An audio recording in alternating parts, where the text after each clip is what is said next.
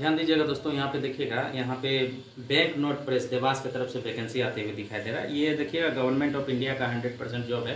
कुछ लोगों को लगता होगा ये गवर्नमेंट ऑफ़ इंडिया जो है ऑर्गेनाइज करती है। ये हर साल लगभग में वैकेंसी एक दो साल से नहीं आई थी, लेकिन यहाँ पे देखिएगा वैकेंसी आते हुए दिखाई दे रहा है। इसमें देखिएगा बीटेक के स्टूडेंट को भी मौका दिया गया है डिप्लोमा के भी स्टूडेंट को मौका दिया गया है। इसमें तीन ग्रुप में जो है इसको बांटा गया है। यहाँ पे बात करें तो एस वन एस वन में बीटेक और डिप्लोमा स्टूडेंट के लिए रखा गया है। उसके अलावा बात करें तो बी थ्री बी थ्री में आईटीआई के स्टूडेंट को डिप्लोमा के स्टूडेंट को रखा गया उसके अलावा डब्लू वन में डब्लू वन में आईटीआई के स्टूडेंट को रखा गया है, जिसके बारे में मैं आपको बता देता हूँ आईटीआई आईटीआई के किस किस स्टूडेंट को, किस किस ट्रेड के स्टूडेंट को यहाँ पे मौका दिया गया है।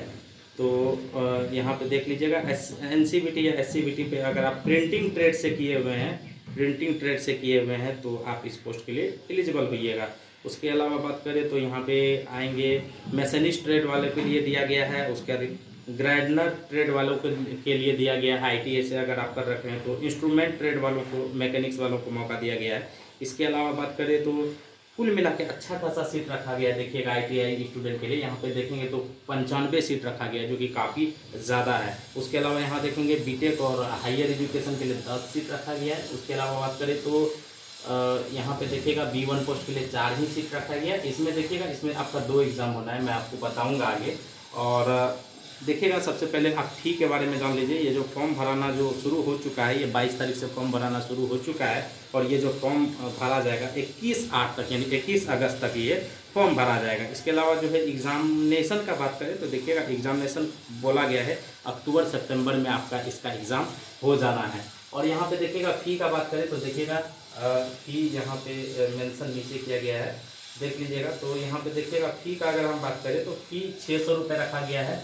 छः सौ रुपये रखा गया है U R P W S और ओ बी सी के स्टूडेंट के लिए छः सौ रुपये एस टी एस सी और पी डब्ल्यू डी स्टूडेंट के लिए जो है दो सौ रुपये का फ़ी इसमें रखा गया है। अब थोड़ा सा देख लीजिएगा एग्जामिनेशन पैटर्न का, जो लोग एस वन पोस्ट के लिए एलिजिबल होइएगा, यहाँ पे देखिएगा, ये आपसे ट्रेड से रिलेटेड पचास क्वेश्चन पूछे जाएँगे वेटेज रखा गया सबसे ज़्यादा ट्रेड का, एक सौ पच्चीस मार्क्स का। उसके अलावा जीए पूछा जाएगा इंग्लिश रीजनिंग मैथ जो कि सभी में पूछा जाना है, कुल मिला के एक सौ पैंसठ क्वेश्चन पूछे जाएँगे और आपका जो मार्क्स रहेगा, दो सौ चालीस मार्क्स का आपका एग्ज़ाम होना है। यहाँ पे आपका बोले तो दो घंटा समय दिए सी बी वन में और इसी बेसिस पे आपका मेरिट बनना है, इसके आगे आपका कुछ भी नहीं होना है।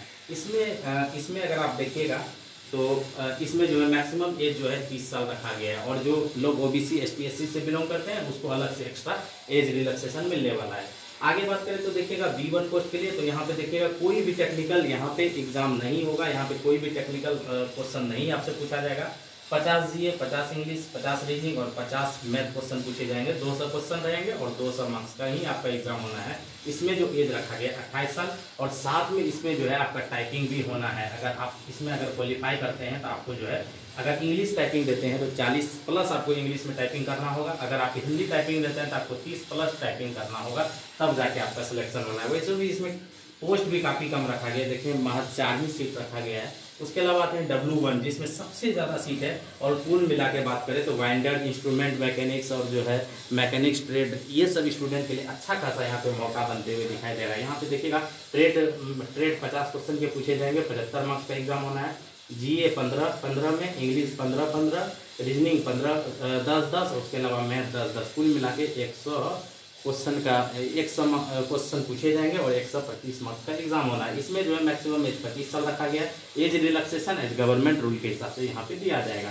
पंचानवे सीट इसमें कुल मिला के रखा गया है। देखिएगा मिनिमम जो है आपको इतना मार्क्स लाना ही पड़ेगा। यहाँ पे देखिएगा तो अगर आप U R E W E W S से बिलोंग करते हैं तो पचपन परसेंट मार्क्स आपको मिनिमम लाना है। इससे कम लाते हैं तो आप वैसो भी डिस्क्वालीफाई हैं। उसके अलावा ओबीसी से अगर आप बिलोंग करते हैं तो 50 परसेंट मार्क्स आपको मिनिमम लाना ही पड़ेगा। अगर इससे कम लाते हैं तो वैसो भी आप डिस्क्वालीफाई हैं। एसटी अगर एससी से बिलोंग करते हैं तो 45 परसेंट मार्क्स आपको मिनिमम लाना ही पड़ेगा। अगर इससे अगर आप कम लाते हैं तो वैसो भी आप डिस्क्वालीफाई हैं। तो देखिएगा, काफ़ी अच्छी जॉब होती है। अगर सैलरी का मोटा मोटी मैं बात कर लूँ तो बता देता हूँ, लगभग में सैलरी अगर आप बात करें तो देखिएगा, अगर आप एस वन पोस्ट के लिए अप्लाई करिएगा तो सत्ताईस हज़ार से बेसिक पेमेंट से आपका सैलरी स्टार्ट होगा। उसके बाद अगर बी बी थ्री पोस्ट के लिए अगर आप बात करें तो इक्कीस हज़ार से बेसिक सैलरी से आपका पेमेंट स्टार्ट होने वाला है। उसका डब्ल्यू वन पोस्ट का बात करें तो ये लगभग में उन्नीस हज़ार, अठारह उन्नीस हज़ार के आसपास से आपका बेसिक पेमेंट से आपका सैलरी स्टार्ट होने वाला है। काफ़ी हेल्दी सैलरी है और फैसिलिटी भी अच्छा खासा इसमें दिया जाता है। और जो लोग एलिजिबल हैं फॉर्म को बिल्कुल अप्लाई करके चलिए। खास करके आईटीआई स्टूडेंट के लिए काफ़ी ज़बरदस्त मौका यहाँ पे है, देख सकते हैं, काफ़ी ज़्यादा सीट है। कुल मिला के एक सौ ग्यारह में से पंचानवे सीट आईटीआई स्टूडेंट के लिए रखा गया है। तो कहीं ना कहीं बहुत बड़ी अपॉर्चुनिटी है और इसका ऑफिशियल वेबसाइट पर जाके आप जो है अप्लाई कर सकते हैं और जो नोटिफिकेशन को अच्छे से पहले रीड कर लीजिएगा, उसके अलावा अप्लाई कर लीजिएगा। Bye bye take care have video कैसा लगा कमेंट करके ज़रूर बताइएगा। लाइक शेयर एंड सब्सक्राइब ज़रूर करें जय हिंद।